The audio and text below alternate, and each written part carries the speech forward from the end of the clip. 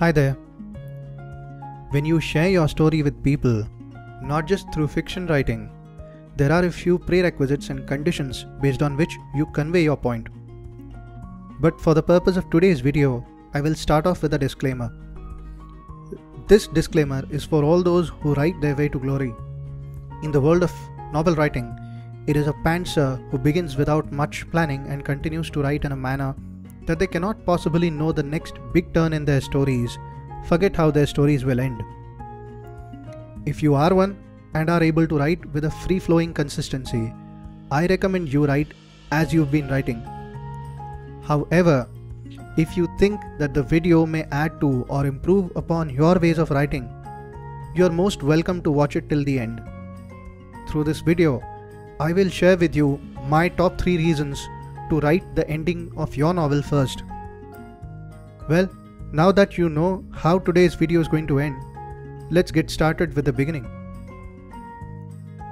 Reason number 1 Better interconnections. This is more of an introspection. And no, I'm not going to talk about how we began today's video, but about how we find it easier to look back at our own past, for example, and take our guesses at how things have progressed since then. It is only when I look back that I am able to connect the dots to see how everything has logically fallen into place. The point here is, we all deduce the course of action of our stories with logical and emotional milestones with relative ease when we know how a story is going to end.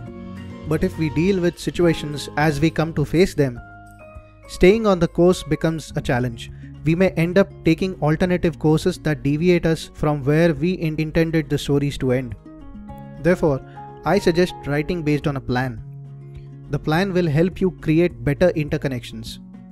So, for everything that your characters do or think, the readers will know how and why. Any parallel ideas that you come across at the spur of the moment will then only add to your story and not replace it. Reason number two better characters. Once you know what you are going to do with your protagonist or antagonist toward the end of the story or an episode in their story. You just have to make the story move from point A to point B, where point A is how it all begins and point B is how it all ends. It is like a mathematical equation where you know the result. All you need to do is place variables and create stepped instructions to help readers derive that result. An ending, after all, is what it is. So it must be that concluding point where all the lives involved in the story cross their path to create a wholesome experience for the readers. It is the place where the protagonist conquers the inevitable, avenges the death of the innocent beings, and earns their qualification as worthy of the throne or magical powers. Basically, simply set things right. Whenever I write, I want at least two people in my story to have a plan the hero and the villain. Reason number 3 Better control on backstories. If I were to consider writing as a jungle and the writer as a person treading through it, backstories would be those beautiful flowers that deviate the writer's path. They are those small treasures that writers wish to collect along the way.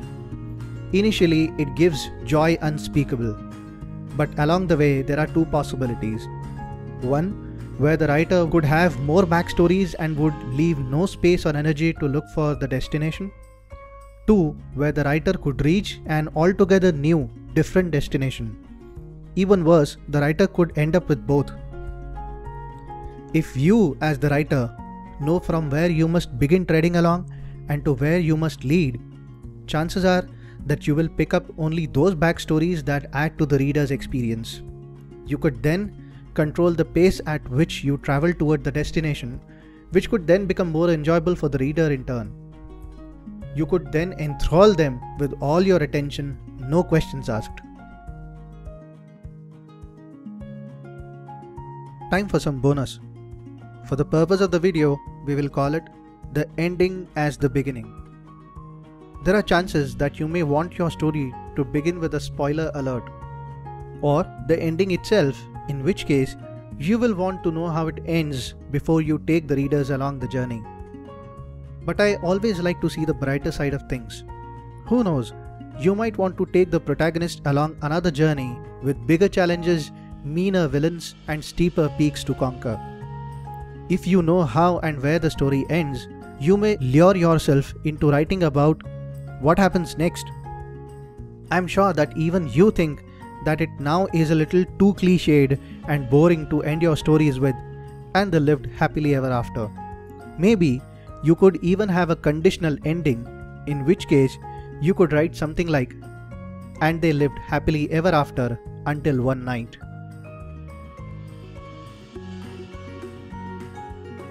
When it comes to writing, there isn't one recommended method. Everyone has their own styles and preferences. If you are comfortable with writing or flying by the seat of your pants, you are free to choose to write that way.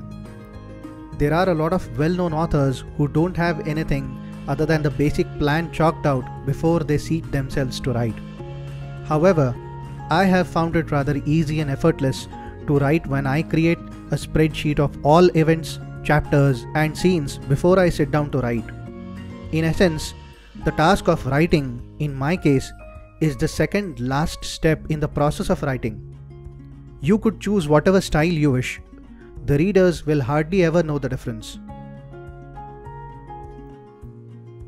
If you've liked this video, please subscribe to my channel.